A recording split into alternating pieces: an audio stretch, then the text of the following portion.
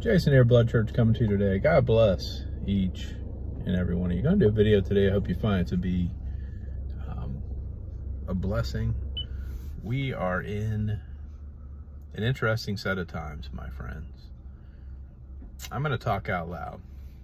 I'm going to talk out loud about information that I've heard, and it is uh, not meant to scare you um, it is meant to just to make you aware.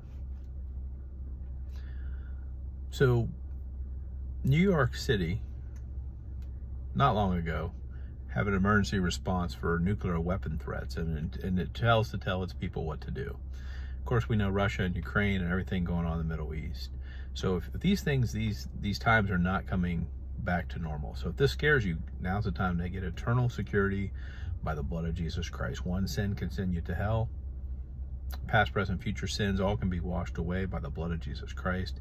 He paid the ultimate atoning price when he died on a cross. 1 Corinthians 15, 3 and 4 tells you where he died, he buried, and he rose from the dead.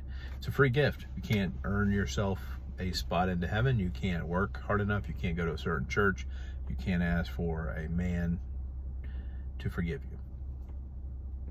Romans 10, 9 and 10 tells you how to do that. Believe with your heart, confess with your mouth to salvation and all your sins by the blood of Jesus Christ. God, Jesus was the Messiah, the Son of God. He walked a perfect life and he, and he died for you for the remission and forgiveness of your sins. Once you accept that, the, the very second you are saved, you're a new creature, you are born again by the blood of Jesus Christ, and you receive a gift called the Holy Spirit.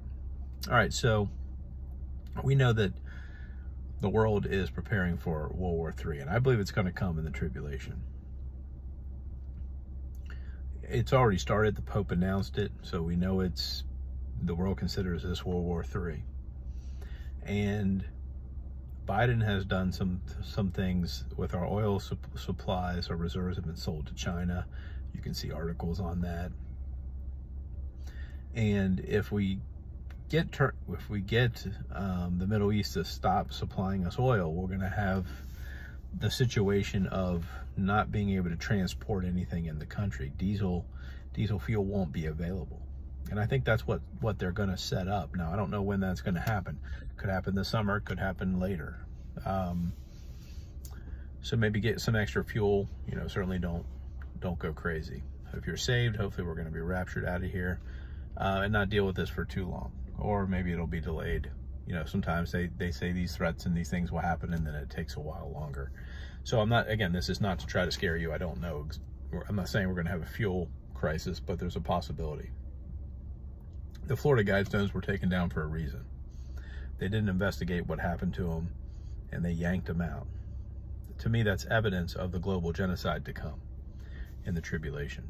And they wanted that removed. It's gone we know that the jib jab, the snake bite is going to be a big factor in the next two to three years. I think it'll be a part of the um, the judgments, the wrath that come of the um, pestilences and the and uh, the pale horse and tribulation. And I think we see that all being set up. We also see, you know, things being set up like China versus the U.S.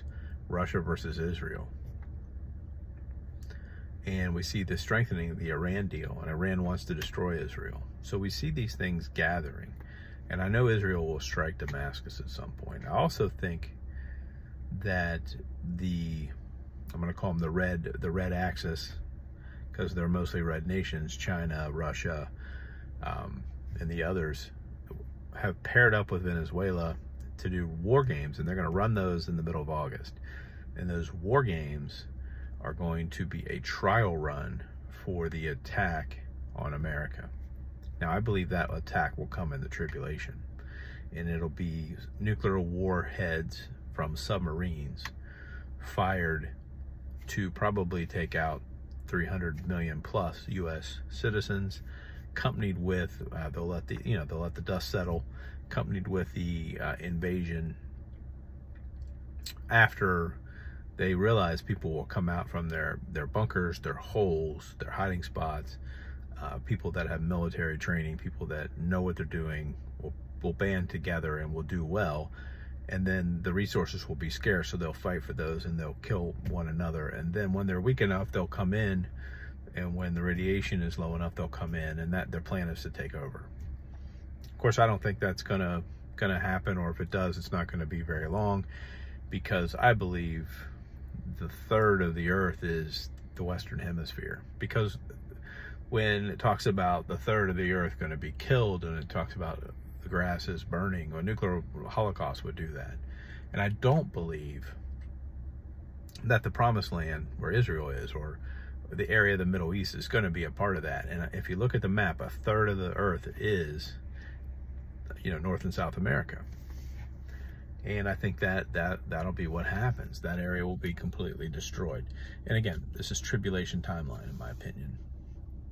But we see it revving up we see China preparing to go to war with the U.S. We see it. They're readying their forces for it. That's the middle of August when they're doing that, uh, what they call war games. Uh, a dress rehearsal, if you want to call it that. So all these things are speeding up. We see uh, earthquakes in Japan, and we see, again, lockdown in Wuhan again over a few um, cases. And all these things are just coming faster and faster coming to a head. So I pray for each and every one of you, you know, hopefully the rapture soon. I don't know if this is this year or next. I think it's one of the two uh, with the way we're going here. I guess it could tarry a little longer.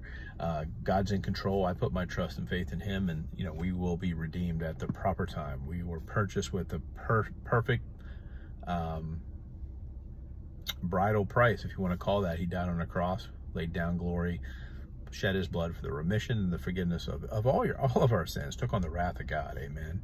And only only our wonderful, awesome God, you know, has the ability to do that. And so don't worry, church, you know, we're going home. And if you're not saved, you're hearing this message, this is for you. All these calamities I'm talking about are going to come soon. And we are not returning to normal. So now is the time to put away your pride, admit you're a sinner in need of a Savior, and point towards Jesus Christ he, God, everyone always asks, what, what has God done in this horrible world? He died for you. He gave you a way out of it. Accept it by the blood of Jesus Christ. God bless. Have a great day.